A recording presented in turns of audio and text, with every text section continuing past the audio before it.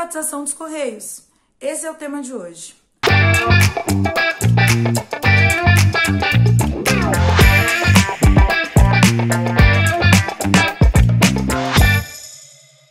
O Arthur Lira incluiu a privatização dos Correios como pauta prioritária da Câmara dos Deputados para votar antes do recesso legislativo. Diferente das outras privatizações, a proposta do governo é privatizar 100% da empresa estatal.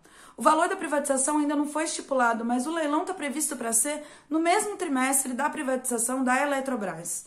São dois ataques históricos à classe trabalhadora brasileira, que vai sofrer ainda mais com os serviços mais caros e de baixa qualidade. E diferente do que eles falam de que a empresa não dá lucro, ela teve o maior lucro na última década, mais de 1,5 bilhão, mesmo com pouco investimento do governo. Esse lucro se deu às custas da exploração dos trabalhadores que sofrem cada vez mais com a sobrecarga e com a precarização do trabalho que piorou na pandemia.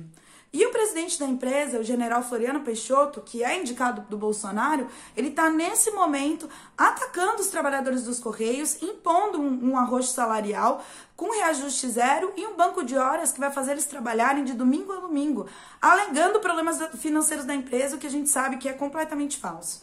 O Bolsonaro, o Guedes e o Lira, eles querem privatizar os Correios para abrir espaço para a Amazon, que é né, do homem mais rico do mundo, beneficiar empresas como iFood, Rap, que exploram os trabalhadores com longas jornadas, e a Magalu e o Mercado Livre. Então, diante de um ataque tão grande como esse, é urgente que as centrais sindicais, como a CUT e a CTB, organizem a luta dos trabalhadores dos Correios, algo que eles não têm feito, e que isso seja parte da construção de uma greve geral para derrotar os ataques e as privatizações. E a gente da MRT e do Esquerda Diário sempre defendeu também a necessidade de uma empresa dos Correios que seja 100% estatal, sobre controle dos trabalhadores, a serviço da população. Não a privatização dos Correios. E dia 15 de julho vem aí uma nova etapa do Esquerda Diário, a luta de classes na sua mão.